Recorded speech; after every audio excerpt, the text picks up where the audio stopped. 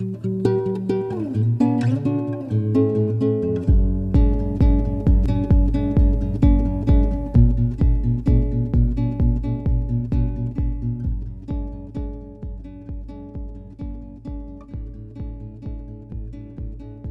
guys, welcome to our first week of our Storytime Kits uh, craft kit activities. So first thing um, we're going to do is we're going to do is the clothespin caterpillar.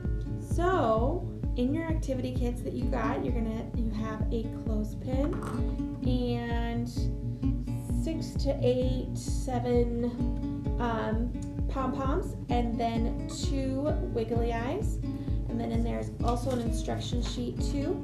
The first thing you're gonna do is you're gonna get some glue. I have a hot glue gun here, so never use a hot glue gun without an adult supervision, but I'm using a hot glue gun today because it's a little bit faster for me for the video purposes, but you can just use regular glue at home.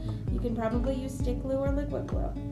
Alright, so what I'm going to do is I'm going to make little dots of glue, which you can do with any kind of glue, and I'm going to put them in a line down one end or one side of the clothespin. All right, so what I'm gonna do is I'm gonna decide which of my pom-poms are going to be the front, the head of my caterpillar. So I'm gonna put this blue one and the front is gonna go towards, the head is gonna be on the end that, that opens up. So then I'm going to do some more pom-poms. It doesn't take very many.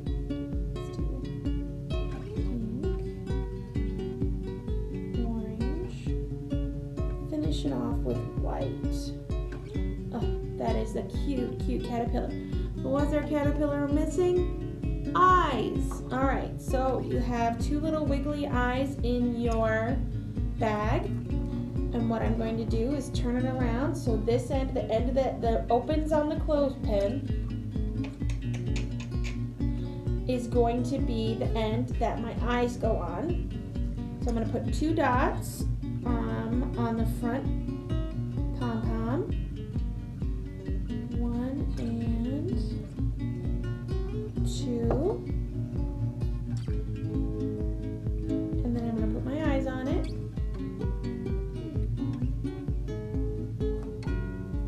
Alright, now all you guys have to do is wait for them to dry. So of course you can use any kind of glue. Um, the, like I said, I'm just using the hot glue for purposes of speed for filming this video. But here is our little caterpillar, clothespin caterpillars. And the great thing about this is you can stick it anywhere. You can take it outside and pretend to have it chomp, chomp, chomp on some leaves and things. Or you can chomp, chomp, chomp it on a piece of paper. Or if you guys have a magnet at home, maybe you can glue a magnet on the bottom side and use it as a paper holder on your refrigerator.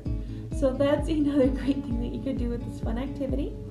And that's just our little toddler craft for this week. And we'll see you next week for our picnic activity. We're gonna do a picnic um, picnic blanket craft. So I'll see you then. Have a great day. Thank you. Bye.